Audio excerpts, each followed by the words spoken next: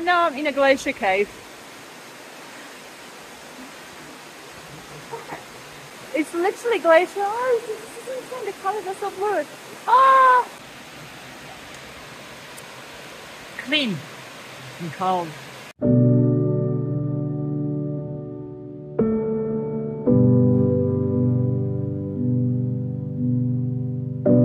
Solo glacier. It was nice to touch you.